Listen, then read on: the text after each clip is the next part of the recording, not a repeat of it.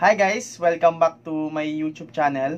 For today is bibigyan ko kayo ng overview or idea kung ano ba usually ang ginagawa ng isang software programmer. Para at least sa mga aspiring software programmer is meron na kayong idea kung ano ang ginagawa namin sa work. Kung bago lang kayo sa aking YouTube channel, please hit subscribe and the ring notification bell para hindi nyo ma-miss ang aking susunod na video tutorial.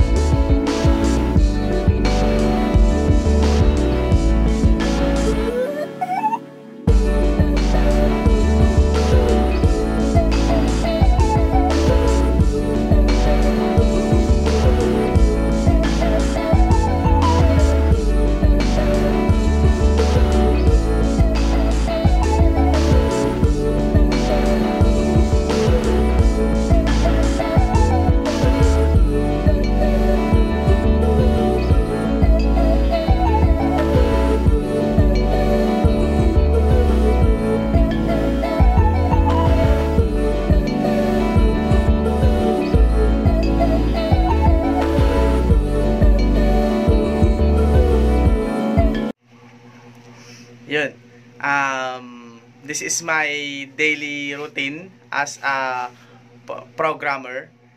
And I handled or managing web application and desktop application for almost 2 years experience. Yan. Ang masasabi ko lang sa mga magbabalak or nag-aaral ng programming is uh, number one is start uh, with the basic basic ng programming. Uh, uh, number two is dapat alam nyo yung uh, learn about data structured uh, algorithm and the concept. Mm, number three is uh, experience experience with uh, your coding. Yan. Number 4 is read and read and read. Number 5 is never uh, stop learning and searching. Yan. May mga marami kasing ano um, mapagkukunan ng uh, code sa ano sa iba't ibang website like Stack Overflow yun um, learning techniques not tools. Yan. Um, syempre uh, test your code. Yan. And then be in touch with other programmer. Okay uh, thank you for watching my first vlog. Uh, don't forget to subscribe. Tell me pretty lies, look me in the face, tell me that you love me, even if it's fake.